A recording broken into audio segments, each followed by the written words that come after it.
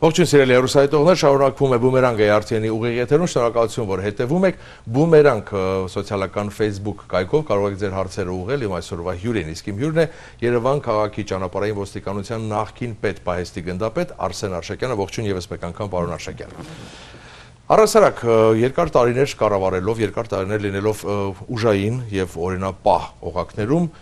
ավելի լավատեղյակ եք առասարակ։ Մեր հասարակությանը ավելի շատ անհրաժեշտ է օրենք, թե ուժ միանշանակ օրենք ուժն է ծնում օրենքը արտահայտությունը մի փոքր տատանվում է այս ժամանակների համար եւ միանշանակ օրենքը ես քիչ առաջ լսում էի Արամ Արարատյանի մեկնաբանությունները փախուստի դիմաց մարդկանց մասին, այսպես ասած, շակերտի, ինչը չեմ կիսում իր կարծիքը։ Պատասխանատվության ենթարկելուց առաջ, քանի չի եղել դատարանի օրինական ուժը, մարդը չի համարվում հանցագործ։ Այո իսկ բայց մարդը ինչ հարցագործ համարվել արդեն ինֆորմացիա ունի հին կապերի միջոցով եւ լքում է երկիրը ինչպես վարվել։ Դա արդեն պահ մարմինների խնդիրն է, թե ինֆորմացիայի արտահոսքը որտեղից է տեղի ունեցել եւ ոչ միայն իրենցով էր պայմանավորված մարդիկ, ովքեր լքել են Հայաստանի Հանրապետությունը, պատժից խուսափելու համար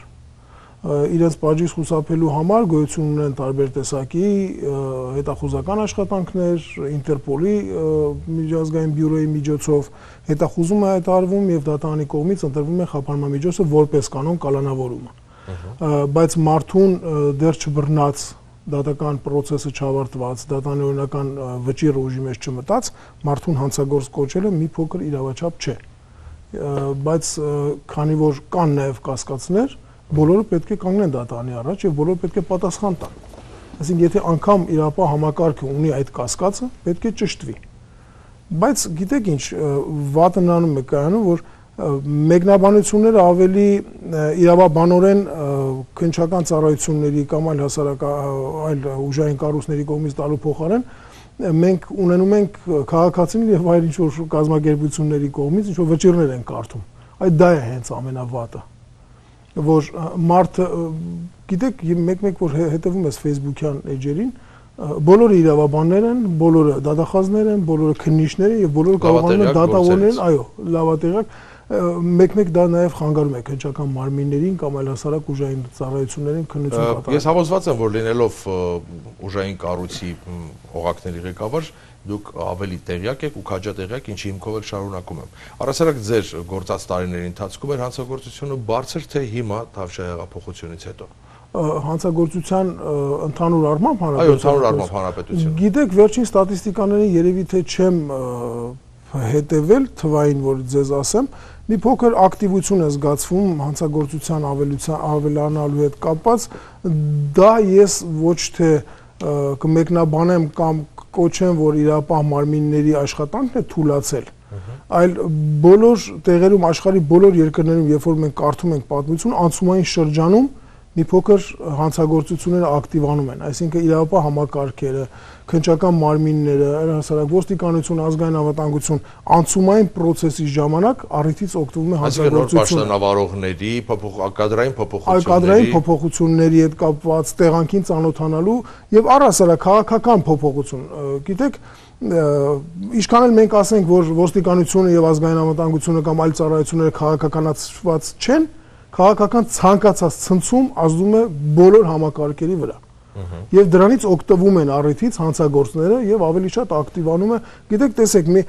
པարզ օրինակ, ես վերջերս տեղեկացա, որ ճանապարհատրանսպորտային պատահարների քանակ ավելացել է հանրապետության տարածքում մավան ելքով դեպքերը ավելացել են։ Դա կրկին խոսում է նրա մասին, որ այդ անցումային շրջանում առիթից օգտվում են ոչ թափ վիճակով մեքենավարողները, արագ մեքենավարողները, այսինքն անցումից մարդիկ մի փոքր այլ են բաց թողի վիճակ է, իրենց թվում է, որ բաց թողի վիճակ է, առիթից օգտվում են, ինչի արդյունքում լինում է թվերի աճ։ Առասարակ նախին կառավարության օրոք ազգային ժողովի պատկերը այլ էր, այլ զավեշտալի դեպքեր ունեին, այլ երևույթներ ունեին։ Իդեմս աշակերտը առավոտյան արտանում է որ գնա դպրոց, աշակերտը առավոտյան պիտի արտանա, աշակերտը պիտի արտանա, նման օրինակ թեթև մոտեցումները խոսակցական երևույթներին այսօր վերափոխվել է գրիչի պատմության, վերափոխվել է նման օրինակ երևույթների կամ վերջերս հատկապես բումերանգի մասին խոսակցություն գնաց հետաքրքիր զուգադիպություն եղավ մտահղացումը բումերանգ հաղորդման եւ այդ փոքրիկ դրվագը։ Արդյոք այսօր կառավարվում է ճիշտ, արդյոք այսօր քաղաքական դաշտում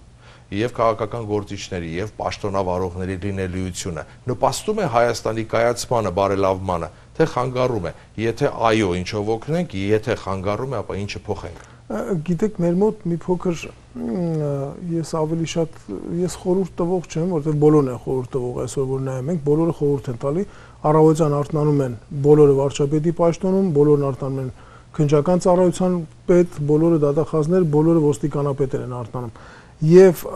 առհասարակ գիտեք այսպիսի մի կարծիք կա դա լինի անցումային շրջանում թե լինի կայուն արդեն կայունացած իրավիճակում հին հայկական խոսք կա չէ որ հա, հացը պետք է տալ հաց թուխին այսինքն պետք չի անտեսել պրոֆեսիոնալներին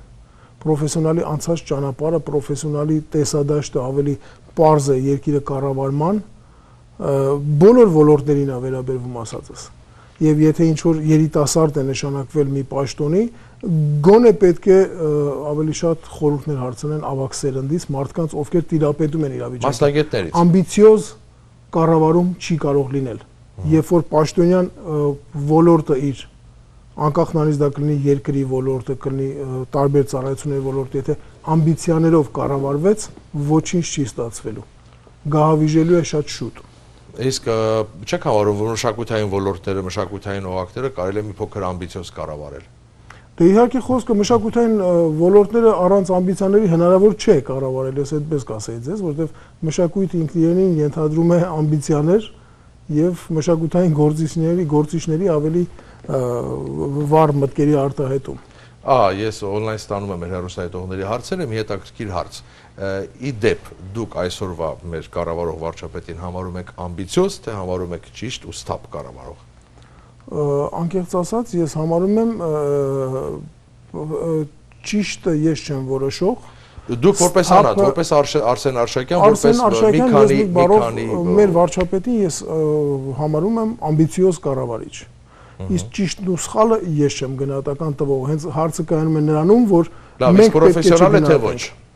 Դե պրոֆեսիոնալ գիտեք քաղաքական ճանապարհ չանցած մարդը, որը այսինքն կառավարիչ, քաղաքական կառավարիչ չեղած մարդը չի կարող ընդամենը երկու տարվա ընթացքում Որքան պարոն Փաշինյանը 20 տարիների ընթացքում ընդդիմադիր էր եւ բավական հետաքրքիր ուղղակեր ու գույն։ Այո, փայլուն ընդդիմադիր էր, փայլուն, անկեղծ ասած ես միշտ դիտել եմ իր ելույթները եւ իրականում շատ հարցերի շուրջ նաեւ համաձայն եմ եղել պարոն Փաշինյանի ելույթների ժամանակ եղել են շատ հարցեր, որ իրականում համաձայն եմ, բայց ինչ վերաբերում է պրոֆեսիոնալիզմին,